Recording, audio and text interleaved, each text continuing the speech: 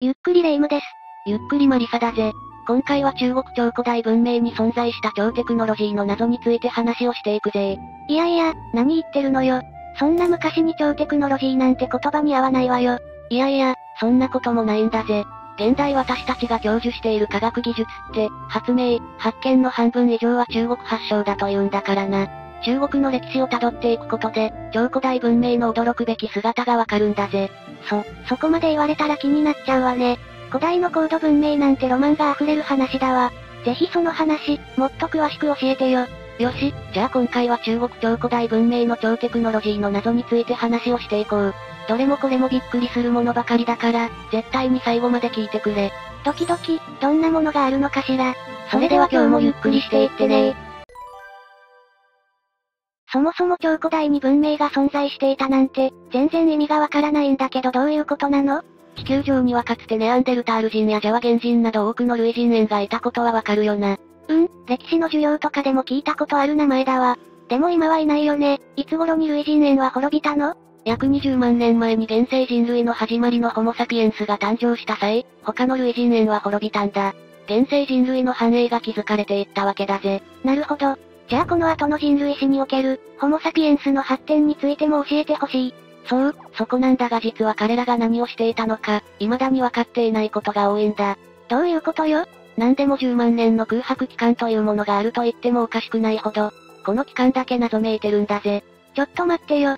どうしてそれより前の類人猿の歴史はわかるのに、そこの10万年の期間だけ謎が多いわけ？一応この10万年の間はホモサピエンスは狩猟と各地への移動をしていたとされている。それ以外のことはほとんどわかっておらず、やっぱりこの10万年の空白は不自然だと思うんだ。うんうん、さすがに10万年間ずっと狩りだけしてたわけじゃないでしょ？当時のホモサピエンスはさすがに現代と比べたら知能は低いかもだけど他にも何かしらやってたはずよ。そうだな。じゃないと現代まで発展するには時間が足りなくなってしまう。このあまりに謎すぎる空白期間はこれまで多くの研究者の間で議論されてきたんだ。まあそうでしょうね。その中で何か分かったことはあるの？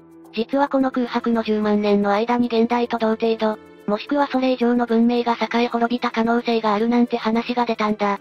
これは現在の文明がわずか数千年発展したことが根拠になっているぜ。まあ確かに遡って計算すれば理論上そうなるだろうけど、そんな昔に高度な文明があったなんて私は正直信じられないわ。じゃあつまり空白期間こそが高度文明の証拠って言いたいわけ？そういうことだ。もちろん色々と考慮しなければならない点は多いが、少なくとも仮だけしていたわけではないだろう。まあそれはそうよ。知能に触れ、何かしらの発展はしていたと思うわ。だって逆に狩猟しかしてなかったら心配になるもの。だろ？逆に考えれば現代はこれだけ発展しても流行病で大打撃を受けるくらいだ。そう考えれば過去にどんな高度文明があっても、短期間に滅亡と繁栄を繰り返した可能性は高いと思うぜ。うん、まあそうなんだけどさ、大昔だから仕方ないとはいえ、あまりにも証拠がなさすぎるじゃない？今の状態じゃ信憑性は薄いわよ。残念だが大昔に高度文明が短期間で滅亡したなら、現代に痕跡がないのも無理はない。だが2017年に、鍵になりそうなとあるものが発見されているんだ。え、何それ？それはホモサピエンスの骨だぜ。この骨の分析結果から彼らの誕生は少なくとも約30万年以上前と言われるようになったんだ。ほうほう、じゃあホモサピエンスの起源は私たちが思っているよりかなり古かった可能性があるのね。ああ、それだとなおさらこの空白期間は長くなるよな。しかもその分、文明が起きていた可能性もさらに高まると思うんだ。まあ確かにそうね。まあだが、この空白期間については現在も具体的なことは何もわかっていない。まあそれは仕方ないわ。でも歴史の流れをたどってみていくと、高度文明が成立しててもおかしくないとは思ったよ。そう、そして現代にも匹敵するような超古代文明が、中国にも存在していた可能性があるというんだ。中国文明っていうのは聞いたことあるよ。四大文明なんて言われていて、この頃に文明が栄えたから今の時代があると思ってるわ。そうだな。この4つが人類最古の文明だというのは有名な話だ。でも、さすがにこの時代に超テクノロジーがあったっていうのはやっぱり信じがたい。まあその気持ちもわかる。だがそもそも中国はヨーロッパ以上に高度な科学技術を生み出してきた国なんだぜ。一説によると現代世界を支えている基礎的な発明、発見の半分以上は、中国に由来しているからな。ええー、そうなの？突然だが、ここで質問だ。中国の四大発明といえば何かわかるか？えっと、確か、羅針盤、火薬、静止、印刷術あたりが有名よね。そうだな、それ以外にも近代農業や造船、銃、毒ガス、熱気球、有人飛行、蒸気機関などがある。そんなにたくさん。例えば太陽の黒点についてもそれが太陽表面の現象であることを、中国人は紀元前4世紀には気がついていたなんて話もあるんだ。また、西洋の戦争で爆弾が使われる250年も前に、中国製の爆弾が元の軍隊によって日本で使われているぜ。他にも指南車、と呼ばれる車に乗せた仙人の指先が、常に南を指し続けるという不思議な機械も発明した。ふむふむ。ここで興味深いのはこの指南車が、方位磁石を用いないテクノロジーだということだ。え、方位磁石がないのにどうやって方角がわかるの？あくまでも歯車による動きで、一定の方角を維持していると言われているぜ。そ、そんな技術があったなんて、そう言われたらやっぱり超テクノロジーは存在したのかって思っちゃうわね。こうしたテクノロジーは、一体どこから来たのかしら？というか、他にも超テクノロジーを示す、不可解なものって残っているのかしら？色々あるからいくつか紹介していこう。まずは謎の土工だぜ。土工これは1986年のこと。上皇上流にある四川省交換市南新鎮三世帯村で、二つの長方形の土工が発見されたんだ。レンガ用の土を掘っている最中に見つかったとのことだぜ。じゃあ調査している中でって感じじゃなくて、たまたま発掘されたものなのね。ああ。出てきたのはアーモンド型の目をした人頭像と目が飛び出した異様の仮面だ。さらに4メートル近い高さの真珠なども出てきたんだぜ。どれもこれも青銅で作られていたんだ。こ、これって何に使われていたのかしら？どうやら古代の祭祀に用いられたと思われている。その後の研究でこの三世帯遺跡は紀元前3000年から前1000年頃に栄えた、古食文化期のものってことがわかっている。確か、昔って青銅器文化が盛んだったことがあったじゃない？それとも何かしら関係があるのかな？そうだな。青銅器の製造法的にも霊夢が言ってる陰時代の文化の影響があるのは間違いない。だが正直、気にするポイントはそこじゃないんだ。え、そうなの？それ以上に気になるポイントって何？実はここで見つかった像が極めて異色な姿をしていたんだぜ。ほうほう。特に注目すべきは、目が飛び出した異様の仮面だ。これは姿形から青銅縦目仮面、と呼ばれていたんだ。一体これは何なのかしら？研究者は古色に注目して調査をした。古色？古色とは、古代の食を建国した伝説の王、三層のことだ。なんとこの王は、目が縦になっていたと記録に残されていたんだぜ。えー、目が縦これまではあまりの医療ぶりから、伝説上の架空の存在に過ぎないとみなされていたんだ。だが実際に聖堂縦目仮面、が出土したわけだよな。うん、それなら話は変わってくるわよね。そう、この出土によって古色も山荘も実在していたと考えられるようになったんだぜ。山荘の正体って一体何なの？この仮面は、実在した山荘を実際に模したものということになるわけだ。つまり山荘は本当に縦目だったのではないだろうか、という説が出ているんだぜ。だとすれば、山荘はさすがに人間ではないわよね。何を表しているのか気になるところだわ。他にも色々なものが見つかっている。中国、青海省のサイダム盆地近郊にあるバイゴン山では過去にオーパーツが発見されているんだぜ。オーパーツってそれらが発見された場所や時代とはそぐわないと考えられる出土品や加工品のことよね。そうだ。断崖絶壁で囲まれたバイゴン山の頂上付近、3つの開口部を備えたピラミッド状の遺跡があったんだ。その内部に掘られた人工的な洞窟の奥から、古い鉄パイプが大量に出土しているんだぜ。洞窟の壁と床を埋め尽くすようにみっしりと敷き詰められていたんだ。多くは直径が50センチほどもあり、中はしっかりと空洞になっていたんだぜ。えっと、つまり現代でも想像つくようなちゃんとした鉄製のパイプ、だったってこと？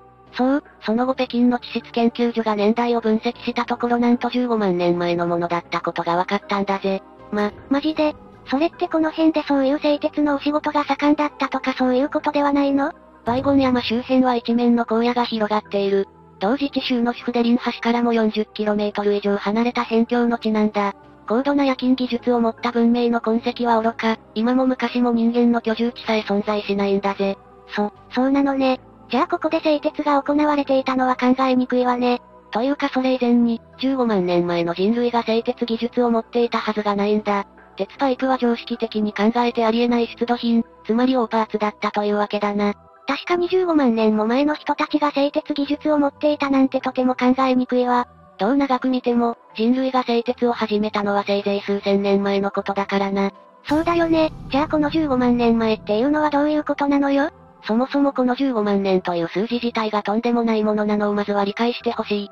というのも現世人類と言われる新人。って、だいたい20万年前から発生しているんだ。ということは15万年前も含め、時代はまだ前期石器時代だよな。うんうん。じゃあやっぱり、この鉄パイプが人工物っていうのは不自然よね。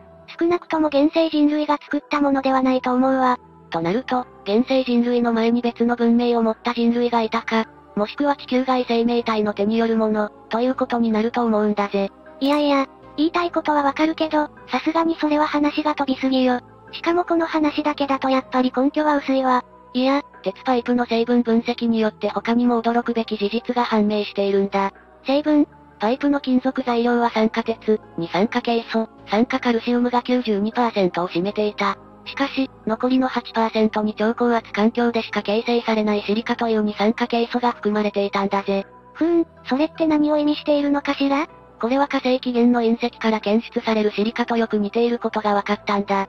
2007年には中国地震局の研究員にて一部のパイプから高濃度の放射性物質が検出されたという話もあるんだ。ええー、そんな、ありえないって言いたいけど、それ以外証拠も薄いし不思議なことね。他にも何か怪しいことってあったのかな？他には巨大ピラミッドなんかもある。え、ピラミッドってエジプトじゃないの？あとはマヤとかシュメールのジップラトとか、そういう文明のものってイメージなんだけど、あまりイメージないかもだが、実は中国文明でもピラミッドは重要な存在なんだぜ。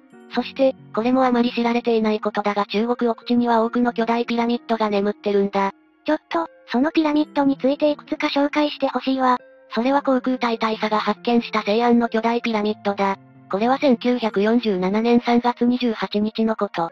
中国、陝西省の首都、西安から南西に 65km ほど離れた新霊山脈付近で巨大なピラミッドが発見されたんだ。このピラミッドは高さ450メートル、下辺の長さが300メートルほどだったぜ。ええー、でっか。エジプトのギザの大ピラミッドが確か、高さ約146メートルで基部の一辺が約230メートルだったわよね。ああ、だからこそ超巨大ピラミッドの発見に世界的にも大きなニュースになっているぜ。そりゃ納得だわ。発見者は誰だったの？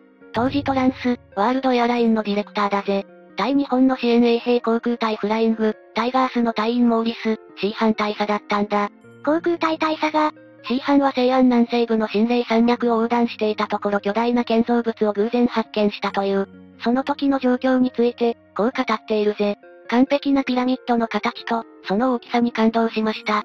これほど大きな構造物が世間に知られていないなんて信じられなかった。うん、まあその気持ちはわかるわ。私が C 班でも同じこと言うと思うもの。他にも同じように巨大なピラミッドが数基あったことを明かしているぜ。でもさ、正直言っていい？西安周辺でピラミッドを見たって証言してるのがこの人だけだったら、さすがに根拠としては甘いんじゃない？いや、実はピラミッドを目撃したというのは C 班だけじゃないんだ。え、そうなの？なんでも1945年3月にアメリカ空軍パイロットだったジェームス・ガウスマンという人がいる。この人も同じように巨大なピラミッドを目撃しているんだ。ガウスマンは当時、何をしていたのかしら？どうやら戦時首都となっていた重慶へ物資を輸送し、インド北部のアッサムへ戻る途中だったみたいだな。その時、不幸なことに山岳地帯上空で突如エンジントラブルに見舞われたんだ。あらら、周囲は山だらけだし、着陸できる場所なんてないわよね。大丈夫だったのかしら？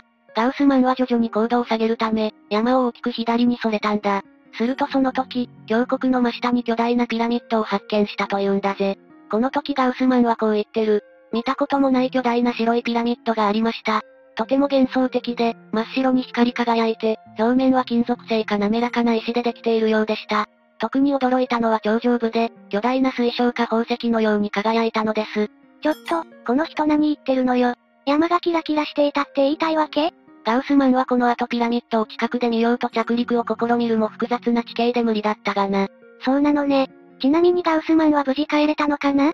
ああ、無事にアッサムへと戻れたようだぜ。ガウスマンは、このピラミッドのことを上官へ報告し、その時撮影した写真は軍の機密情報として提出した。おお、その後の反応は？残念ながら伝えられる情報はここでストップしている。その後は写真はもちろん、ガウスマンの行方についても一切が不明となっているぜ。ええー、何それ怖すぎ。謎に包まれたまま未解決で終わっちゃったのね。また、別の報告も上がっているからそれも紹介させてくれ。2005年10月にはアメリカの民間地球観測衛星イコノスが山西省田原宇宙センター近郊にあるピラミッド群を宇宙から撮影したんだ。そこには3つのピラミッドが映っていたんだぜ。え、3つも？どんなピラミッドだったのか気になるわ。なんでもこの写真ではエジプトのギザの三大ピラミッドそっくりの並びで配置されていたというんだ。と、どういうこと？残念だがこれらのピラミッドの正体については未だによくわかっていない。中国政府も、なぜか調査には非協力的なのが現状だ。そう、そこよね。もっと国が精を出して調査してほしいと思うんだけど。ただ、ドイツの宇宙考古学者ハウトウィグ、ハウスドルフによれば、こういう見解だ。火を吹く風に乗ってやってきた天の子たちが、この地にピラミッドを建造した、とな。つ、つまりこれらのピラミッドは地球人の手によるものではないってこと？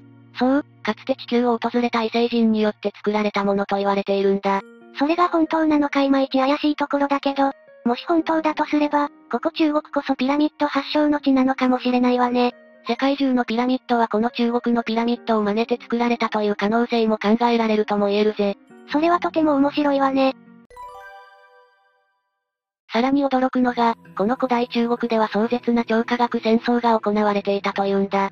え、この時代に超科学戦争？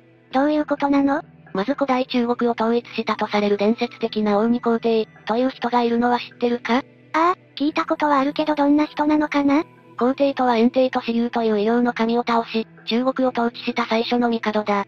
中国で起こったか、陰、州、秦といった国の始祖は、皆この皇帝の子孫だとされているぜ。おお、まさに中国の王の中の王ね。皇帝は船、車、文化的な服装、家屋などを発明したんだ。それ以外にも進化に楽器を作らせたり実感十二詩や文字を作らせたりしている。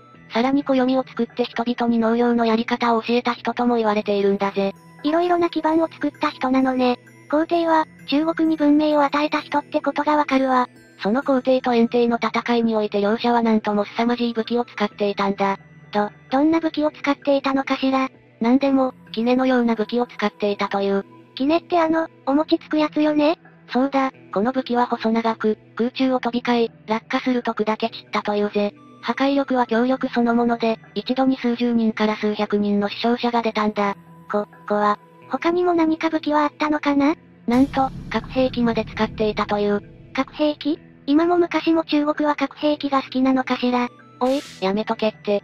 中国の歴史書にこんな一文が記されていたんだ。炎帝は、恐るべき火を落とし人々に危害を加えたので皇帝は策を持ってこれを捕らえた。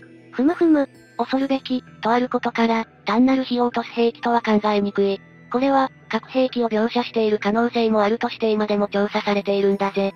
じゃあこの兵器によって数万の兵士がいた皇帝軍の陣地自体が壊滅したってこと？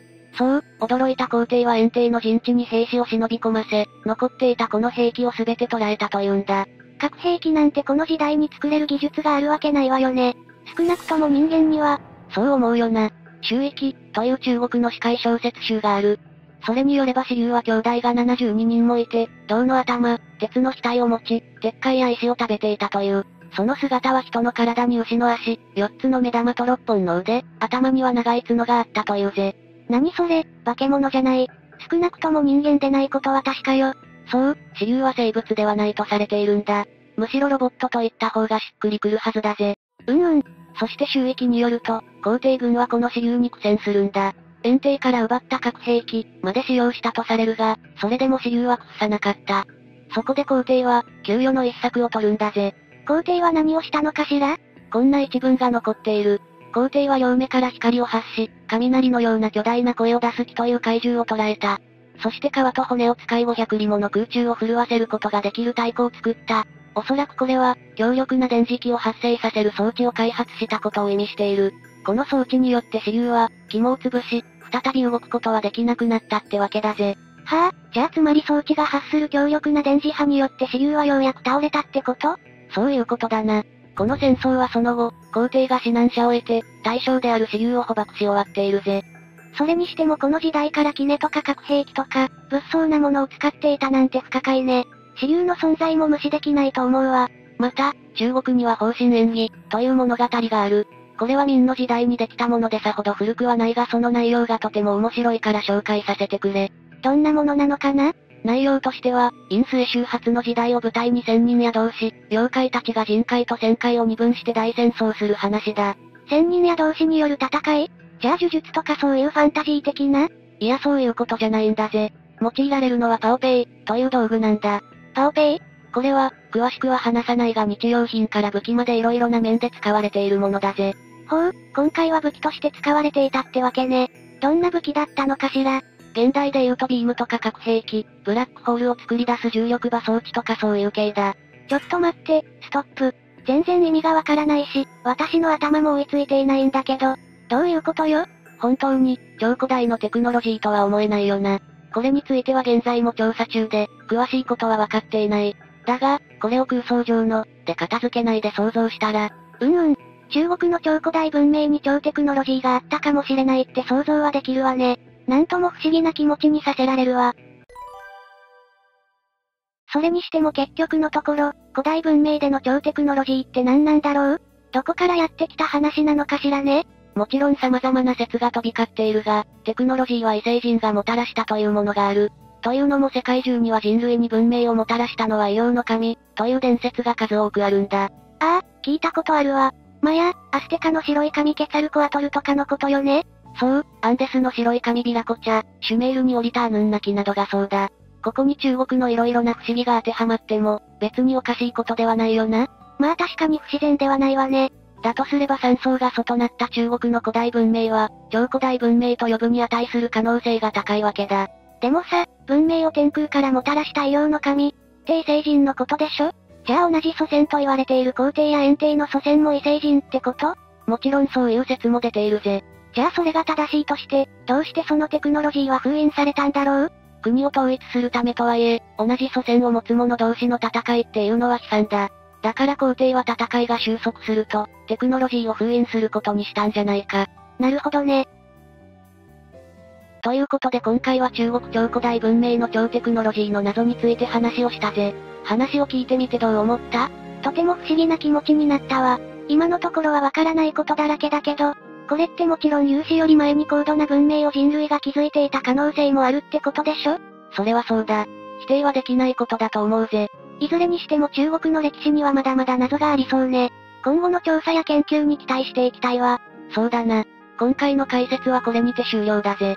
ご視聴ありがとうございました。